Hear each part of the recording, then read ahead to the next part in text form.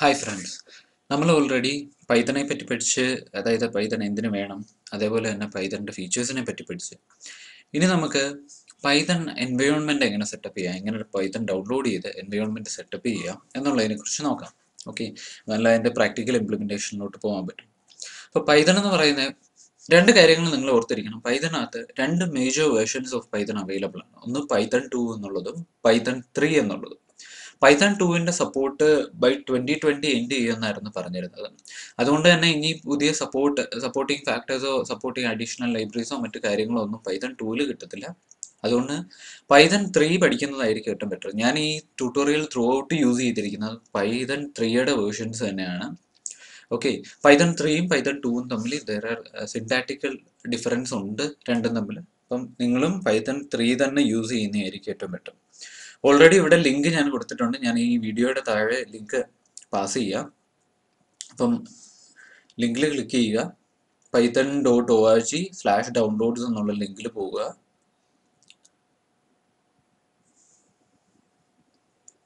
ഇവിടെ ഈ ലിങ്കിൽ ഡൗൺലോഡ്സ് ലിങ്കിൽ വരുമ്പോൾ തന്നെ ആദ്യം തന്നെ കാണാം. Download the latest version of Windows for Windows അത് three point eight point two ആണ് ലേറ്റസ്റ്റ് വേർഷൻ നിങ്ങൾ ലേറ്റസ്റ്റ് വേർഷൻ തന്നെ ഡൗൺലോഡ് ചെയ്യുക.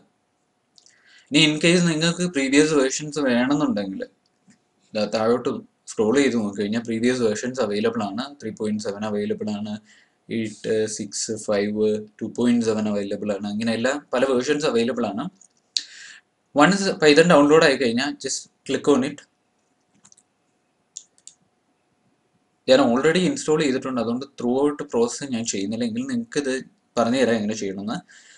ഇത് നമ്മൾ ഡിഫോൾട്ടായിട്ട് ഇൻസ്റ്റോൾ ചെയ്യുകയാണെങ്കിൽ ഇത് ഇൻസ്റ്റാൾ ചെയ്യുന്ന ലൊക്കേഷൻ എന്ന് പറയുന്ന ആപ്പ് ഡേറ്റ ലോക്കൽ പ്രോഗ്രാംസ് എന്നുള്ളതല്ല അത് ചേഞ്ച് ചെയ്യണം. അതുകൊണ്ട് തന്നെ കസ്റ്റമൈസ് ഇൻസ്റ്റാളേഷൻ കൊടുക്കണം. അതിന് മുന്നേ add Python three point eight to path because നമ്മൾ ഇൻട്രാക്റ്റീവ് ഷെൽ ഓപ്പൺ ചെയ്യുന്ന സമയത്ത് ഇത് പാത്തിൽ ആഡ് ചെയ്തിട്ട് എൻവയോൺമെന്റ് വേരിയബിൾ പാത്തിൽ ആഡ് ചെയ്തിട്ടില്ലെങ്കിൽ വർക്ക് ആവത്തില്ല. നമുക്ക് അവൈലബിൾ ആയിരിക്കത്തില്ല പൈതൺ അപ്പം ഇത് ടിക്ക് ചെയ്യുക.